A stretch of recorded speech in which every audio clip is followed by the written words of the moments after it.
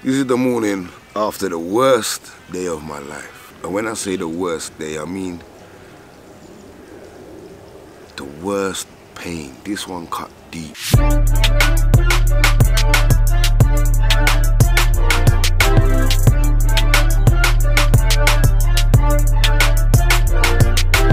You know, normally when I turn on the camera, yeah, I started to get comfortable, like,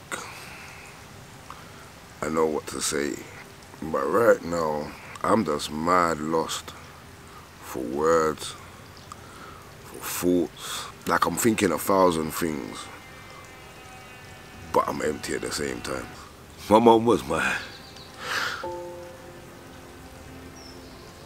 She was my mom. My brother, my sister, my dad. She was everything in one. We had a mad relationship, like. We would go at it like brother and sister. And we was both stubborn, man. It's her fault why I'm stubborn, man. I'm blaming her. I inherited it from her, man. I can't be stubborn sometimes.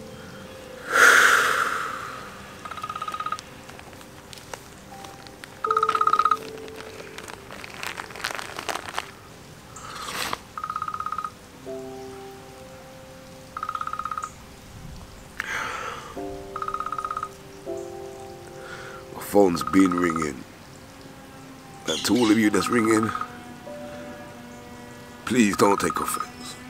I just need to talk to myself right now. I don't need to talk to nobody. I don't need to tell me that you're sorry. I don't need to hear that right now. I need you to understand, like, life can be mad short. My mom was 65 years of age. I'm not supposed to be doing this right now. I thought we had time, like, life is precious. And we only have one life to live. Make sure you live it, man. Make sure when when you deal with people here, make sure you leave them like you're not gonna see them tomorrow. Make sure they hear those words. Make sure that kindness comes out, like because tomorrow's never guaranteed. Never. I don't know what happens from here. I don't know how I deal with this or I don't have the answers for that. This is gonna be a process. I just know I'm doing this video because my mum my mum loved the YouTube video. It was like her highlight. She could tell me about every video we've uploaded. And so part of me, she just, it's, it's like she telling me, use this to help you. Like, all I know is I was just sitting in my house and I was mad lost. I didn't know what I wanted to do. I just didn't know, I didn't know. I woke up this morning like, like it was a dream. Not like it was a dream because she didn't pop into my mind like that. Like I just woke up like raw, boom, bam. You know when you wake up and it's time to go and it's a new, it's another day, and then I looked at my phone and the messages and it all becomes so real quickly.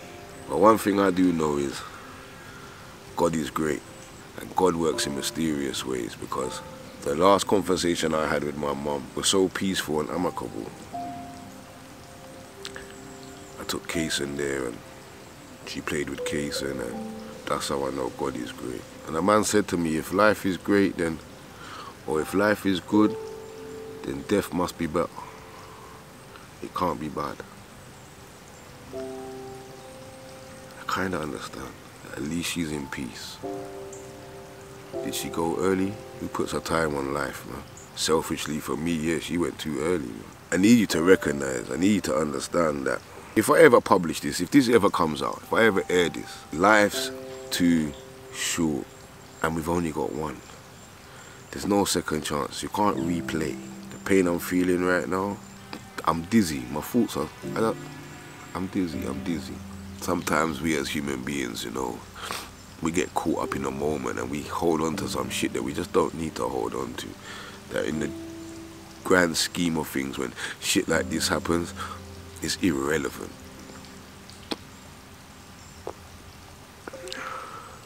My father, he's irrelevant. Irrelevant. But me and my mum battled about it. Why is he irrelevant? Because in times like this, he's not about anyway. He's irrelevant. And even if he was about, what could he do anyway? Irrelevant. I've always thought like the cemetery would be like a, um, I don't know, like an eerie type of place, but it's quite peaceful. For me, yeah, YouTube, these videos, this is the significance. Like, someone said to me the other day, like, I asked them, they was describing me and they was like, ah, oh, their perception was like, you like the limelight. Not as in showy offy or anything like that, just comfortable. And everyone's entitled to their perception. But you see, for me, the subscribers, each and every one of them, and to the people that I meet and have conversations about, well, down to the other day, a man said to me, where have I been? I haven't been doing videos, and yeah, I haven't been going through a lot right now. Like, there's no manual for parenting. There's no book that tells you what to do. You're going through certain things. You just gotta go through them, man. That's a story for another day. But what I'm saying is like, right now as I sit here going through what I'm going through, and everybody goes through shit. I'm not special. I'm just going through it. But the one thing, I'm gonna have to dig deep to find a video of my mom. And this is one thing, and this is one reason why I do YouTube with my sons and my family, is they will always be able to go back and see their life documented, whether it's good or bad. And that's the thing with me. I told you. I told you yesterday, I had to wait for the coroners to come and lift my mum's body and put her in the back of a van. And that was yesterday. This is as real as it can be. Through the good and the bad times, I can't, I, it's documented. My sons know I love them. My family knows I love them. Wife knows I love her. Like, no matter what you go through, I can only be me. I'm just Lito. And that's the peace I take from doing these type of videos. I don't really know how to feel right now. I'm a sad, of course I'm sad, man. That's my anchor, man. I was the one person, the unconditional. It was unconditional. Unconditional. But mom, I'm gonna do you proud. I'm gonna make sure Kason knows you. I'm gonna look after the family. I'm gonna do you proud, man. And I know I can feel you. I need you to understand that. Thank you. For real. Like, Thank you for everything. Because you made me, made me who I am today, man. And I'm ever so thankful. She gotta go out like a queen, like, like the queen she was. Trust me. I'm gonna make that happen. Make that happen. One thing though, someone said to me today is it's an honor to be able to bury your parent. And especially when you've lived a certain life, like when you didn't know whether it was going to be your parent burying you. Like, you've been through some shit. That's one thing I'm going to do. I'm going to honor my mom.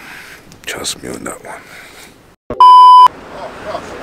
Right now, life for me is upside down, but you see what? You see these four days? I need this. I need this break right now. I need to be outside right now. I'll check with the locals. Look, look. This is the driver. This is our driver right Hello. now, big boss. Peace and tranquility. I need time for think. You see me?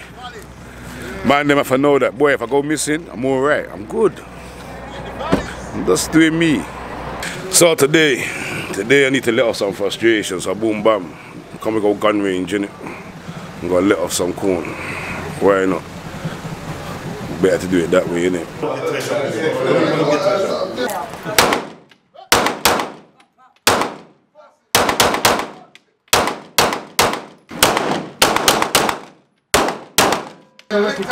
Everything. Yes. Evet. Al burayı. So right now I'm in Turkey and I thought like go Turkey weekend though. Around the them. Distract myself from this. But you know big and serious, it doesn't matter where you are, what distraction you try to put in place. These things peak man. I was just sitting on the ocean on a big boat. Boat party, food, drink, everything. Outside and I stood on the decking, away from everybody. Saw a picture of my mom. Reality just slapped me in my face. Like the biggest slap. In that moment, I knew I needed off that boat. Like, I told the man them I'm out, I'm out. Can't do this. Hired a speedboat and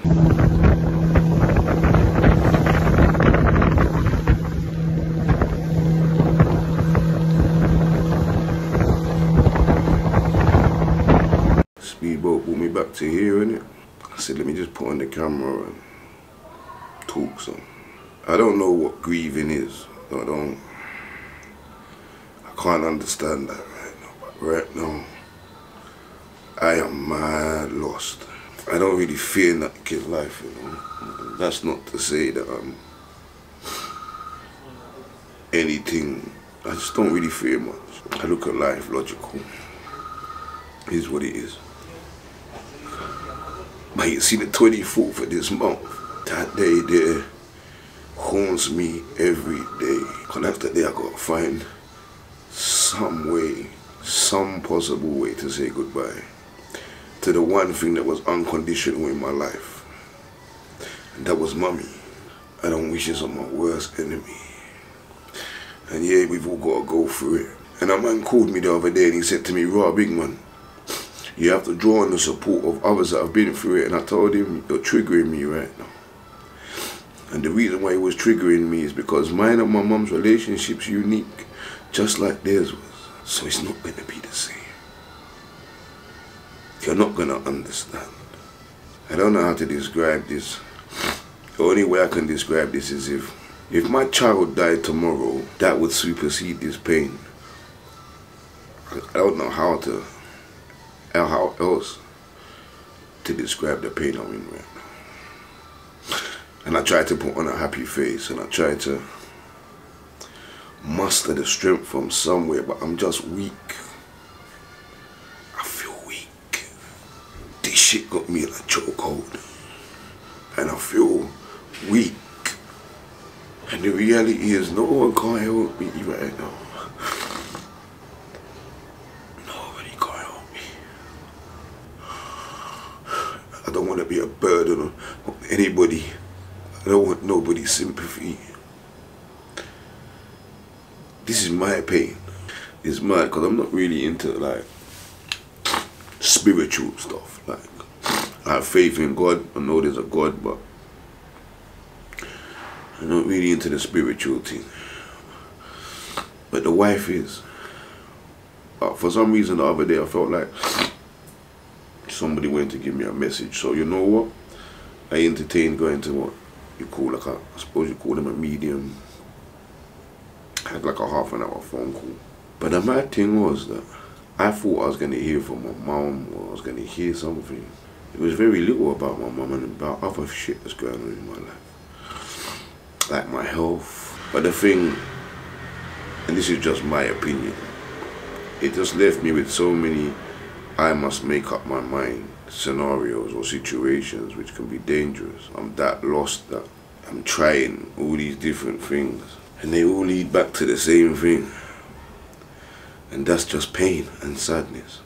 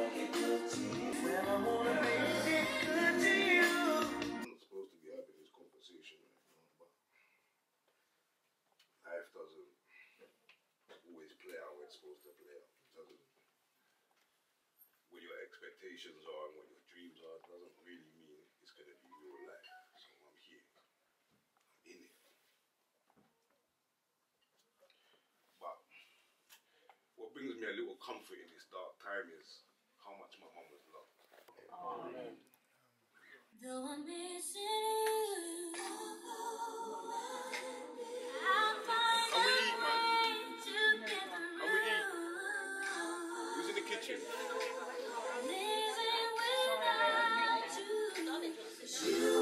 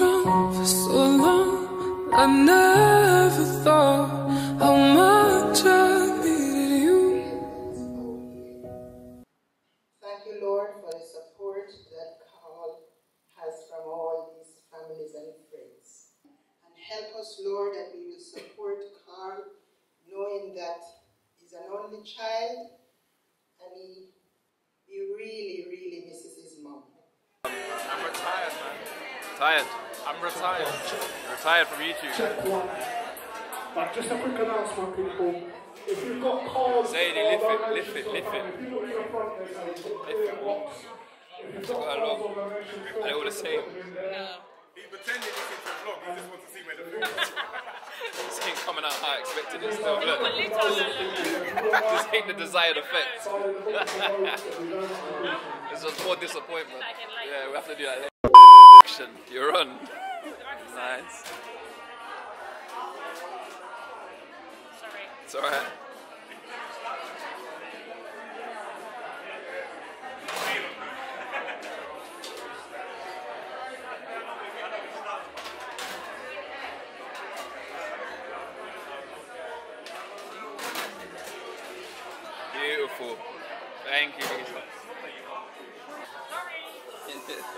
though, you're alright.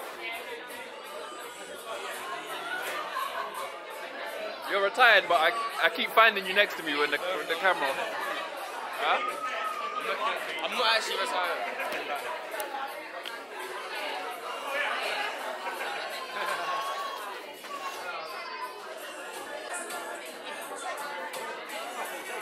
That's the family history there. Yeah. Just thing out six pack. show him though, put it on his Instagram from now. Yeah, well, they want to go back to his five. You're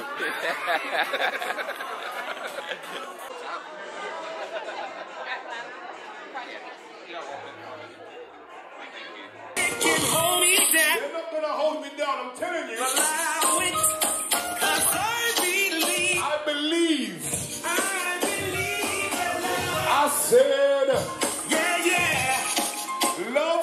you.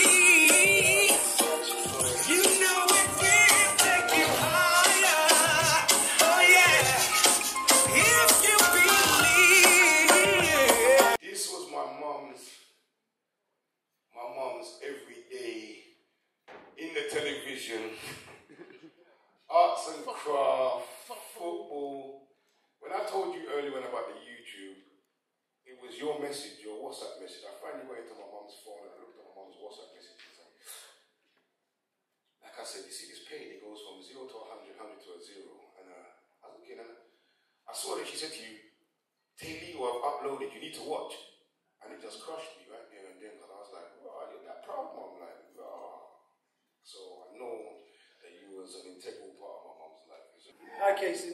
Nice entrance. hey, um, Lesley was real to me as she was to everyone else. She got me one of my first job at the nurseries.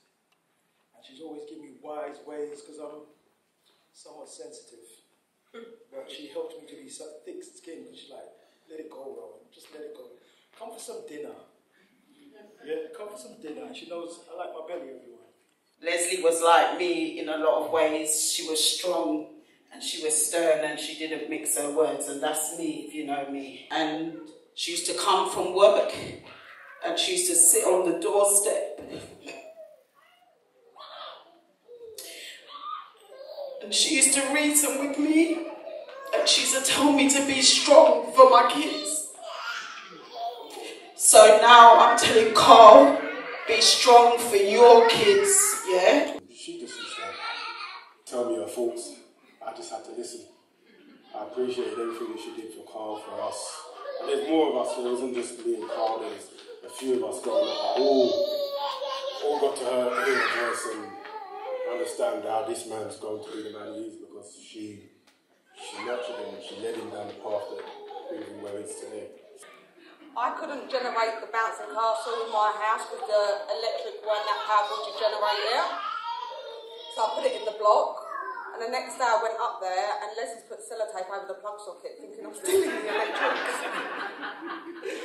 and I knocked on the door.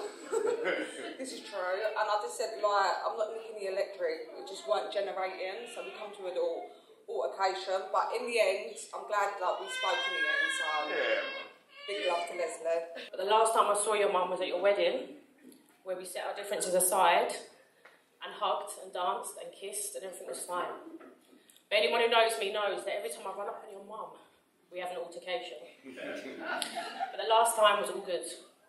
So big up yourself, Lesley. And we used to rave all the time, rave. And remember Lesley's dance? Yeah? Remember this? Yeah? Anybody? Lesley's dance. All right. Yeah. Yeah. yeah.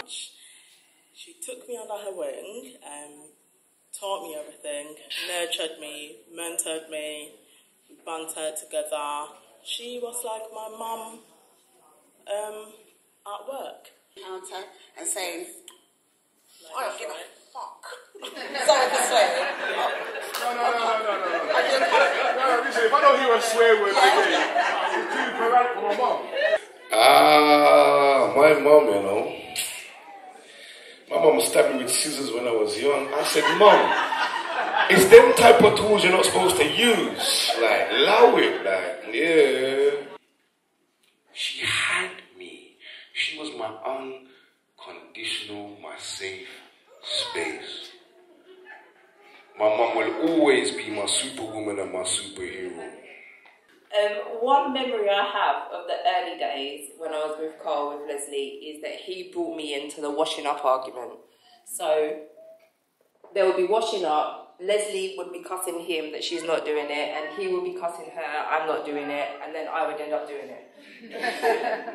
I hope that she's up there, I hope she's up there with everybody that we know have passed. I hope she's up there with my dad. I hope they're here today. My dad never missed a party, so I'm sure, I'm sure he's about. And I just want you to know, Lesley, that you were loved so much, and I wish for you to rest in eternal peace. We love you. I'm gonna play a couple of tunes for Lesley, and we're gonna party. All right? No units. Everybody get up right now. We're going to party and sing along. Some of our Queen Majesty inside.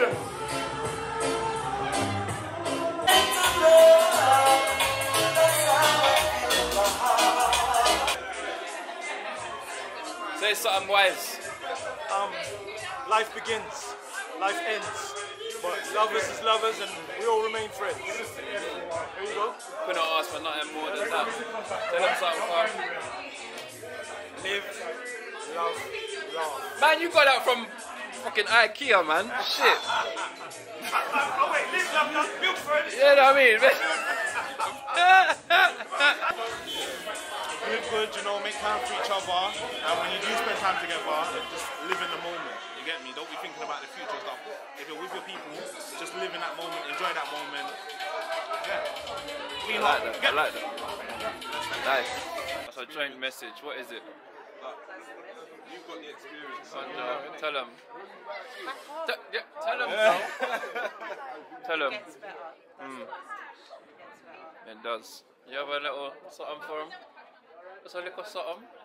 Stay blessed, Carl. You never know who's watching. There you go. Love you. Mm-hmm.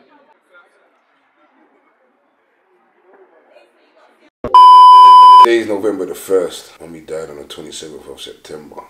It's crazy how much time has gone. And you know that my brethren said to me, make sure I do something after the funeral because that's when it becomes real or becomes peak or becomes it's just something after and I didn't really understand it but now I kind of get it. Like I was distracting myself so much making sure that my mum's handwritten will was followed to the T and then some. And you know what? First of all to all those that come out and supported me on that day mad love. For all the messages I've got mad love. Yesterday I had a counseling session and I'm I've been very ignorant. I'm a very independent person. So I come from a single parent family and I'm an only child. I always felt like a counselor can't doesn't know my life. Like how can you help me? No textbook can't help me. But I've been at the these situations made me be at a point where I don't even recognize, I don't understand it. I feel so sad and the pain is so deep and the hole I'm in is so dark and it's deep. Cool. But the thing about these things are in services, if anybody out here works in services, I need you to understand something, you know. And that's why I, that's why I need to talk this back up. So I called this service, I'm not gonna out them. A counsellor calls you back within 24 hours, yeah? I've given them a window, like, all right, I'm, I'm going to be busy after this, or I'm going to be around people I don't really want to talk, so Friday before 5, Saturday before 4. Cool. But your services call me back within 24 hours. You've asked me, am I going to hurt myself? Do I feel that? I'm saying no. All right, 24 hours, you're going to call me back. Boom, bam. Friday, Saturday comes, I don't get no phone call. I call you back on Sunday, you tell me that I'm in a queue. Services, let me tell you something from now. My pain is not in a queue. I don't know what more to say apart from my pain is not in a queue, and this is why I don't reach out to people because your service has already fouled me before we've even got started. Because you didn't even email me, text message me, nothing. If you're busy, I can get that. I'm a logical thinker. I know shit happens in life, but you can't just leave me hanging in limbo. That's why I don't reach out. There's no excuse. So I don't want to hear about services are inundated. They're under pressure. They're understaffed. I don't want to hear it. Shut your service down then. Because you can be a detriment to somebody. That's all I got to say about that. This this thing is not easy. I'm just trying to document this to make people understand what it is they're gonna be facing. I can't tell you I can't tell you how you're gonna feel or how you're gonna face it. I can just tell you these are the type of things I'm encountering and maybe you might encounter some of the similar things. That's all I can say. I, I can't help you with I can't help you with your pain. This is not a therapy session. This is not I don't even, I won't even be able to understand. The funeral in itself was a madness. Dealing with the companies was a madness. You deal with these companies and they talk about bereavement team. They're not bereavement team. They're just a bridge next door that just has to say he's the bereavement team. And then they just want to deal with how much money they're going to get from you. Or how much money they're going to take from you. That you got to deal with. All your admin to the person who died. But the, one of the things, one of the mad things that, I've, that I'm going through right now is trying to pack up my mum's stuff. And I don't, my mum's closing all them things. I'm not sentimental like that, but it's when you come across things that are sentimental. Because you're having to dig through that person's whole life now. And it doesn't take a day.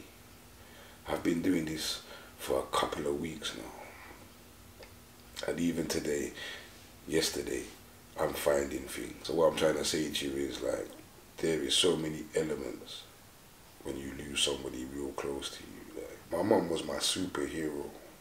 And right now, I'm condensing her life into boxes. I wake up in the morning, so like, I woke up this morning at 8 o'clock. And the time right now is 18 minutes past 12. It took me nearly four hours to leave my house. I wake up and I just want to go back to sleep. I wake up and I got pains in my chest. And I know that's from anxiety and stress. I wake up exhausted. My sleep is broken. And I try. I try every day. Like, like I said before, this thing's got me in a chokehold. I thought I was strong, but this thing got me weak right now. Very excited.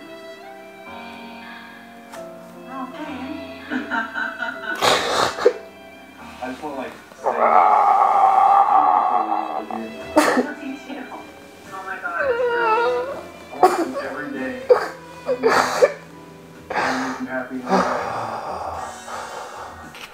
Message after message after message after message. Like, and even now, first of all, thank you to everybody that come out, that supported, that wanted to say goodbye. Thank you. Like I feel truly blessed that my mum was that loved. There were some real kind words in. This thing called grieving. It's crazy. And all I can say to you is like, I would never know your pain. This takes you to some depths. It takes you on this this ride from zero to a hundred like this. I'm gonna be going through this for a hot minute. But if I do publish this, if this right now is on the TV screen and I've pushed to the public and it's not private, because I'm making this, Mama, making this, don't worry, we're gonna be back. Like, don't get it twisted. Met some good people, done some good real shit. You see, my mom, I can't find, I found one video and she's not even talking. And it was when we sung Happy Birthday to her.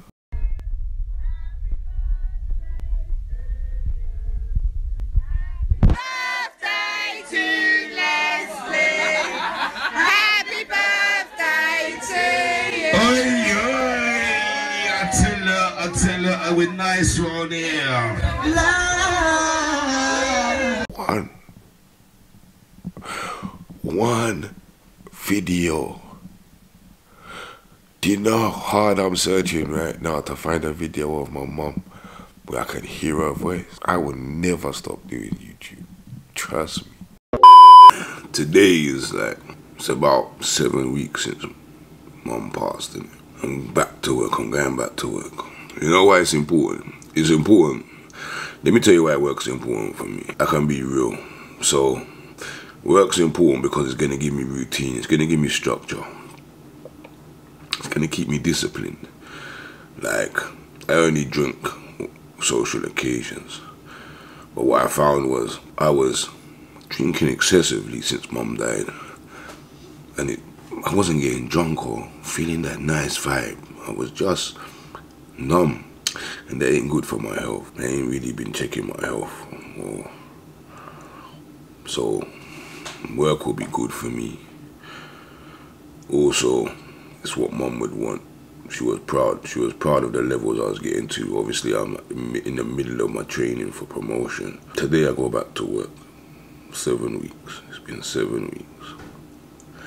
One thing I will tell you is that my grieving's only really starting now.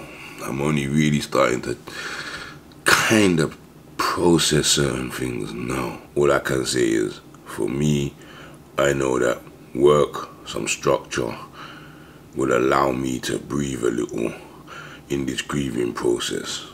It will allow me to uh, focus on other things rather than just stay in my head all the time. Talking to this camera has been therapeutic. It's allowed me to talk my thoughts out loud. We as men, we don't talk.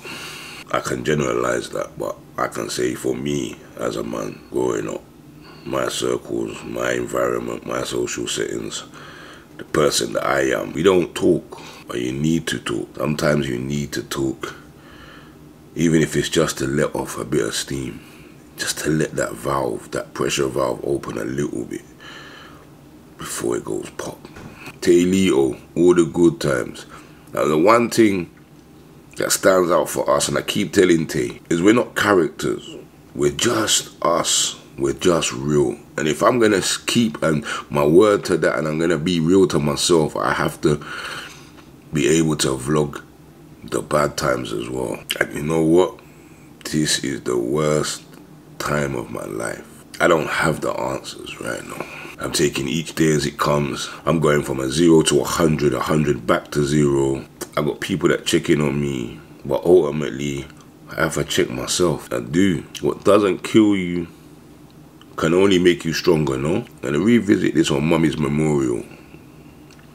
Because I haven't even picked up my mom's ashes yet. That's another process for me. I'm gonna go and do that probably at the weekend. I've still got all these other things to go on, you know. All these milestones, Christmas. Christmas is gonna be hard. Hard. For so many reasons. Mother's Day, her birthday, my birthday, Kaysen's birthday. Like, I got all these milestones to go through.